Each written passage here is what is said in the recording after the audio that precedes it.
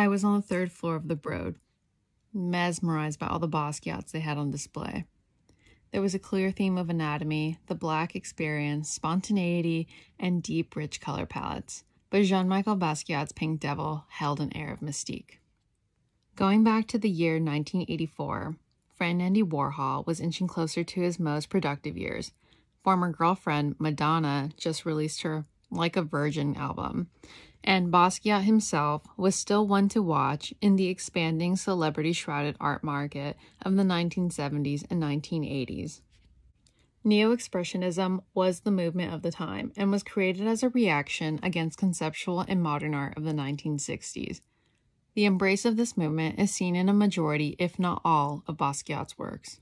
Neo Expressionism allowed for there to be an emphasis on the raw emotions of the artist rather than the focus be on traditional techniques or radical concepts. Pink Devil follows many stylistic features associated with the Neo Expressionist movement and, of course, Basquiat's own style. The colors are vivid, they obscure and highlight the mixed media and the subject of this piece. A closer look into the light green background you'll see a Xerox collage that creates the look of hastily applied wallpaper, almost aged and decorated with streaks of acrylic paint, with drawings in the style of doodles. Basquiat even added an Easter egg of his iconic skull icon, an ode to the Gray's Anatomy book his mother Mathilde brought to occupy him in the hospital after getting hit by a car as a child. She's often credited with encouraging Basquiat, who had a talent for art at a very young age. Basquiat also used the accounting papers brought home from his father Gerard, an accountant, to create art on. The repurposing and referential nature to the analytical, like accounting and anatomy, followed his work throughout his career. Now, in the center of the painting, we have a therianthrope-like figure. The semicircular shape painted in a streaky opaque black with chalk textured jagged lines, creates the insect-like armored body. A collection of streaks serves as a neck and connects the pink head and a mostly red horned mask to the rest of the body. The mask is reminiscent of traditional Haitian carnival or voodoo masks. And execution in creating the subject is almost primitive. It is rapid, and his violent brushwork creates sharp yet organic angles to the face of the mask.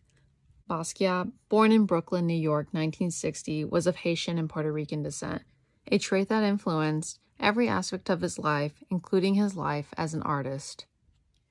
Though he was celebrated at the time, being a black artist in the predominantly white, media driven art world of the 1980s had made Basquiat keenly aware of the racism and tokenism thrusted upon him by critics.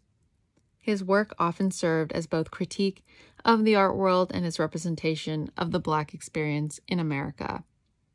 In this context, Pink Devil may be a riff off of the term White Devil, which was originally used in the play The White Devil, written by John Webster in 1612. The story is about a woman's betrayal and the plot to murder her husband, but all all the while portraying herself as a very capable and basically righteous person. The term White devil became synonymous with hypocrisy, and rumblings of the term have been associated with racism and white oppressors. Moreover, the pink face hidden by the mask may allude to the actual skin tone of some white peoples. The mask may signify secrets or lies, and it may portray a devil because it's what the pink subject's public role is.